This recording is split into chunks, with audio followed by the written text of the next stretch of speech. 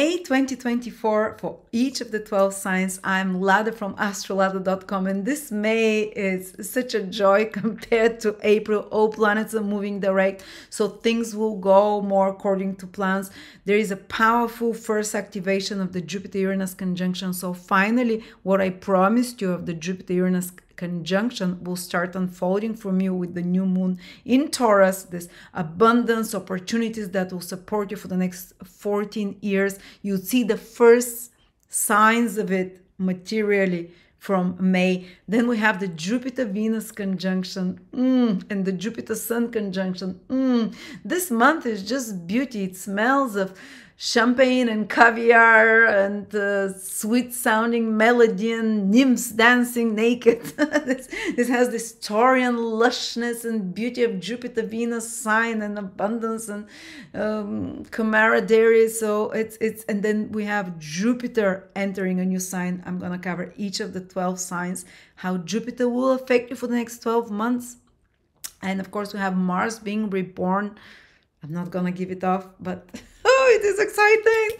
Okay, I really love this month. But before we start, I have created a short tutorial for hour and a half, just $9.99 for each of the 12 signs, whoever is interested in it, uh, to how each of the 12 signs, their first and second marriages, and how their life changes after marriage. For example, Aries and Libra, their financial situation is intimately connected with their partnership. So it really changes for the better or worse, usually for the better. Pisces, for example, they can have property much more easily after they get married. Or do you know that Capricorns, um, sorry, Scorpios are more likely, and Taurus are more likely to have hidden relationships or and we're talking ascendants here mostly and moon, or to marry foreigners or someone from a different religion, or Aquarians have a pattern of marrying someone from a different uh, country as well. And I'll explain to you, it's, it's fascinating. You know that the second marriage of some signs is much better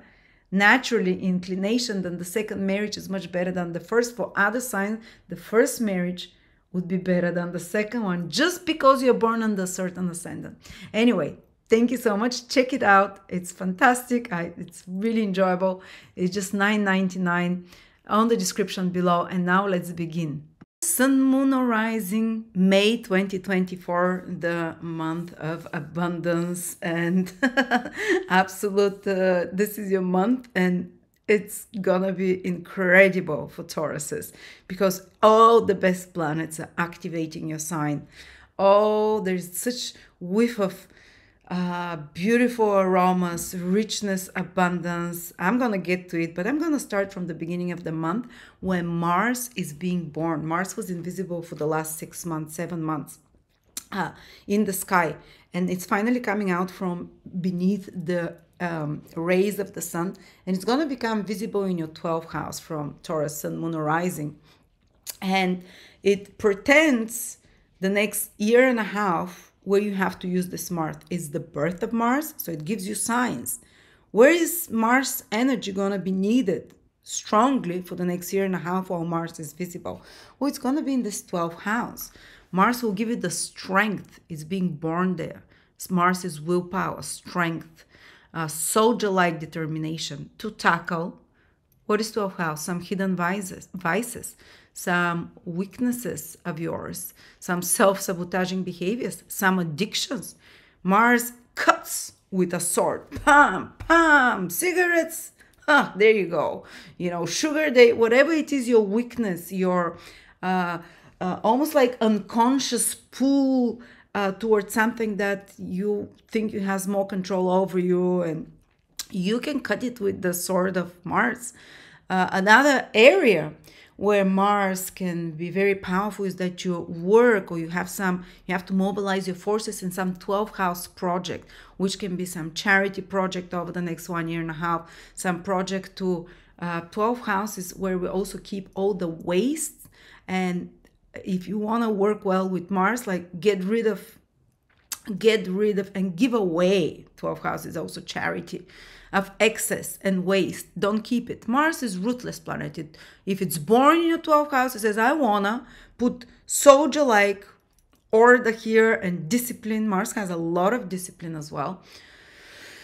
uh, especially do some initiatives that get rid of the waste, the wasteful behaviors, spending too much and so on, you know. Otherwise, Mars in the 12th house can mean you spending and wasting your energy. It's like going in some well without ending. Unless you're doing it to help others, you might put a lot of efforts and energy in helping those in need, in some causes, or I don't know, homeless animals, uh, taking care of. You might get suddenly an urge to get mobilized to help refugees or those in need or those uh, that are less fortunate than us, which is the 12th house. Those that we almost have like uh, some duty towards. 12th house is almost like having the duty to help those in need, maybe giving a crying shoulder to friends of yours or whatever. But Mars rules your relationships. Mars is the ruler of the seventh house and it's going to be born in your 12th house. So, suddenly, till now, relationships were invisible. When Mars is invisible, it's more unpredictable and so on. Mars being born now is but in the 12th house can mean the birth of new relationship for some of you maybe friendships or collaboration or sexual even relationships personal but maybe more hidden or private because mars is born in your 12th house so maybe such with a foreigner someone with a different social class or race, something that is quite different and unfamiliar to you, because the 12th house is the house of unfamiliarity, but maybe a connection from past lifetime there. Um, and of course, the 12th house is the house of bed pleasures. So Mars there can, uh, you know, some fantasies, bed pleasures. You can make you more initiative there. Of course, it can turn into vice, so be careful because Mars can make you very passionate about pursuing your vices, whatever they are, and your addictions and your weaknesses that you're hiding from the world and that you are kind of embarrassed about, but because you have no power over them, because Mars can ramp up first this, but also it has the power and the willpower to nip it in the bud at some point over the next year and a half. You might also be undertaking some activity that is spiritual, 12th house, or artistic, or healing of some sort. And Mars allows for quick breakthroughs if you're doing some spiritual healing or some uh, 12 house can be maybe giving you the strength to overcome some illness because 12 house is connected to that to fight it. Mars is like a fighter to fight through some obscure illness or medical condition or gives you the strength to fight uh, as i said those inner demons Sometimes the dreams be Mars being born in your 12th house, your dreams can be more violent, where you're expressing suppressed feelings. And Mars in the 12th house asks you for the next year and a half to learn all those bottled feelings that you've pushed to the subconscious. Maybe you can work with a psychologist or with someone. Mars rules your seventh house of help from others, can help you bring to the surface those fears, not fears, anger, suppressed anger, whatever, or ancestral past life anger, maybe you were killed in a past lifetime or whatever, it can come to the surface to be reworked now, intense, profound work. Also, it can mean that you're starting some initiative abroad, that you get initiative, 12 houses, foreign countries, that you get you know, either initiated into spiritual things because 12 house is spiritual, some spiritual search, some spiritual, you become very active on your meditations. Might be hard with Mars being born in your 12th house to be very present, to be very calm, but you might be more rigorous like a soldier in your spiritual practices. Uh, and it can but also your dreams remember might be more turbulent more sexual and violent especially in may. Mars will be there with the north node. And any kind of suppressed anger it's going to be pouring off of your ears and either in your dreams. Or in some way try to get out. Uh, but it's for good to release it you know. And let's finish about that. Maybe some big activity that's happening for you abroad where you have to mobilize your forces maybe you can win abroad or uh, Mars is to win, Mars is to take an initiative, something to do with foreign countries and so on. But now let's get to the really interesting part for this month, the really juicy part, which is Jupiter. Um, Sun will join Jupiter. First of all, there is a new moon on the 8th of March in your sign Taurus, and it's happening within three degrees of where the Jupiter Uranus conjunction happened. You know, Jupiter Uranus conjunction happened at the end of April. And a lot of people say, well, nothing happened. It's going to be unfolding over 14 years. It happened in your sign. This is so rare. I mean, you're so blessed, Taurus. This is the conjunction of opportunities. Watch out my April video for more in you know insights. What Jupiter Uranus mean for you. It's opportunity, it's growth, it's uh, a new awakening, it's a revolution in your life. It's a sudden growth, not like uh, it can happen so suddenly. But a lot of Taurus people said, well, nothing happened, or maybe something, because this conjunction needs to be activated every time over the next 14 years. When it gets activated by a new moon, full moon, a transiting planet, it's gonna start giving this opportunities for you. Jupiter Uranus opportunity of uh, knowledge, wisdom, download of information, your higher self. This is divine planets. Jupiter is angelic wisdom, Uranus is divine wisdom. So you can tap into one is fifth D, Uranus is 7D information. Five, five Jupiter is 5D information, angelic worlds. Uh, Uranus is 7D information, the Devachan. Imagine those two joining together in your sign, guys.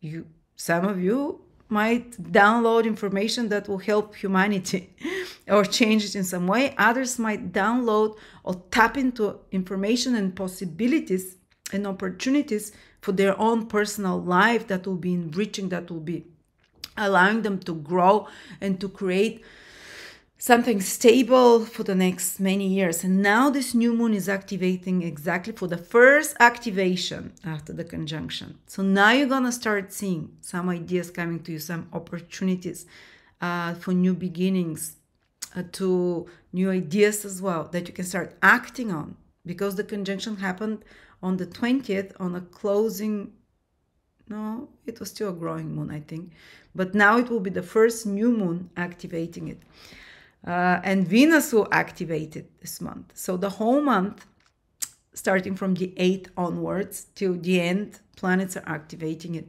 So new waves of opening opportunities for this abundance, for this growth, for these realizations, educational opportunities, career opportunities, anything that can become a source of a lot of meaning and purpose and excitement for you for years ahead. You'll be seeing more and more seeds you know, coming. uh, and of course, we have Jupiter conjunct Sun in your sign, Taurus, on uh, the 18th. Fantastic. This week from the 18th till the 24th, 20, 26th, 25th. There's so many good aspects. Jupiter conjunct Sun in your sign, Jupiter conjunct Venus in your sign. That I, it's gonna be fantastic. I, I advise you to do something wonderful um, especially on the Jupiter Sun conjunction on the 18th or on the Jupiter Venus conjunction in Taurus, again in your sign on the 23rd. It's on a full moon. It can be very powerful manifestation, ritual, whatever you want. Or if you want anything beautiful that will grow, because already the moon is growing from the 18th, from the 8th so the Jupiter Sun conjunction happens on the 18th if you want to launch a business or start some new idea, or start some new initiative that will be blossoming and growing for years ahead. Do it in this week after the new moon, especially the 18th till the 23rd, when it's a growing moon and you have Jupiter conjunct Sun, the best planet, Jupiter conjunct Venus conjunct Jupiter. I mean, wow, what can you plan a great trip if you want starting something new around that time.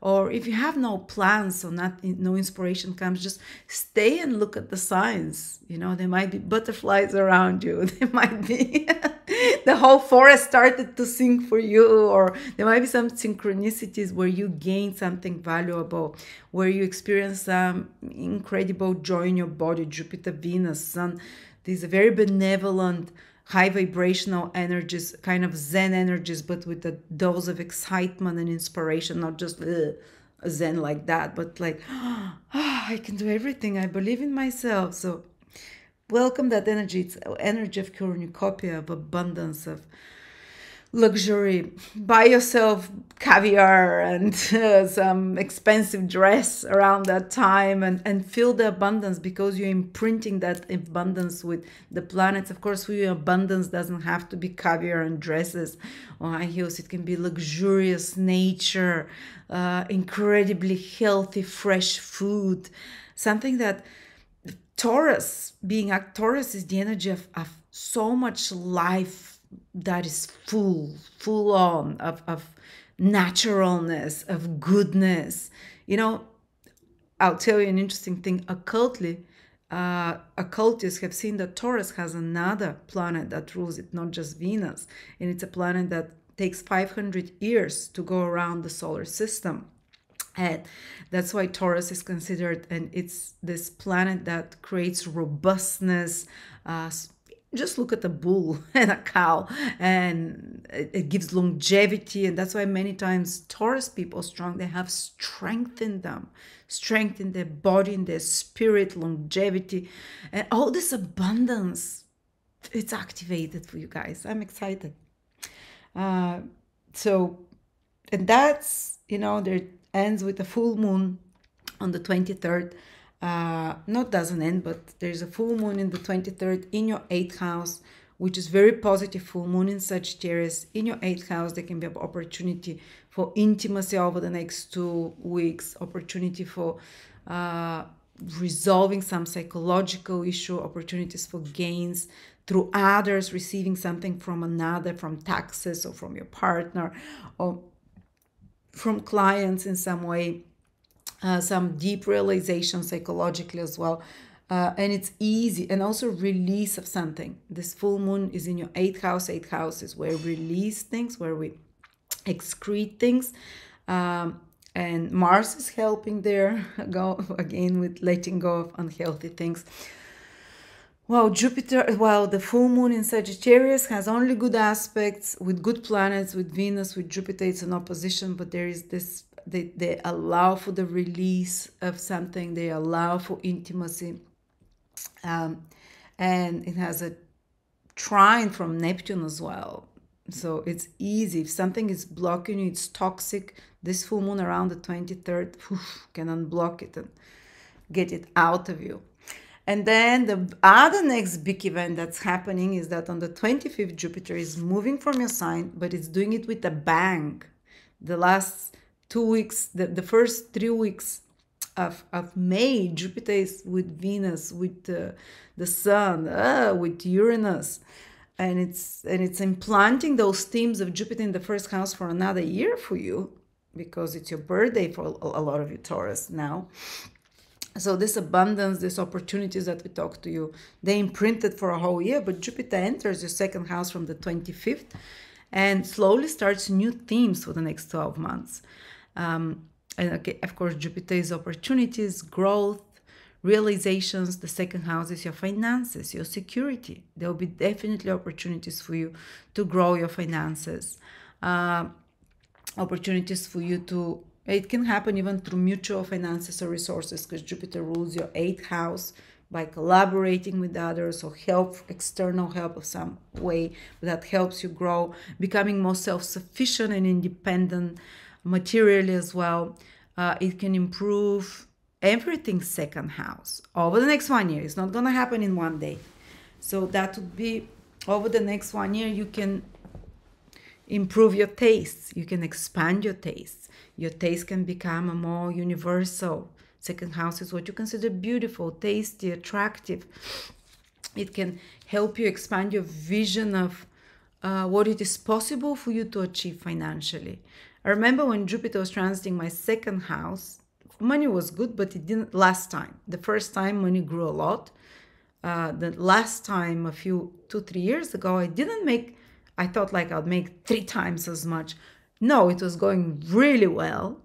Uh, but I suddenly had this realization and peace of mind that no matter what happens in life, I can create my own resources. Because I've always had this doom and gloom because I grew up in poverty until 30 I was pretty poor living you know very bad. Don't want to go there.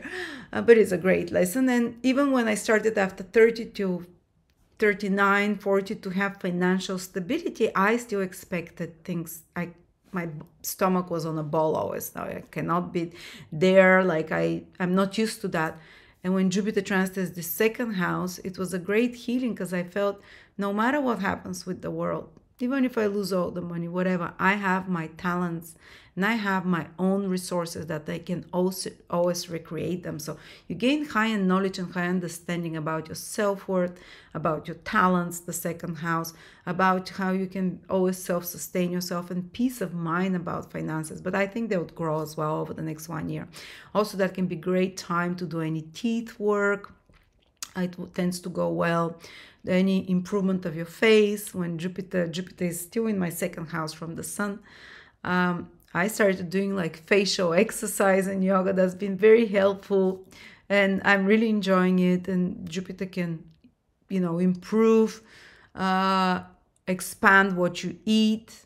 Of course you can put on weight with Jupiter in the second house but you know if if you can expand to more foreign cuisine I've been since Jupiter went into my second house it's still there I've been cooking three times per week Asian.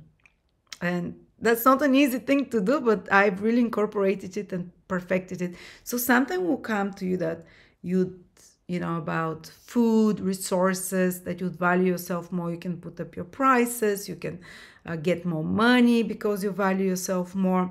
Uh, your tastes will expand it can be very good for your family and for gaining anything valuable or getting more higher perspective on values on on money or lear- taking courses. Jupiter is to learn something about money about resources about food about growing food and so on. This is what jupiter will bless you for over the next year and a half. Maybe there are other stuff i missed them.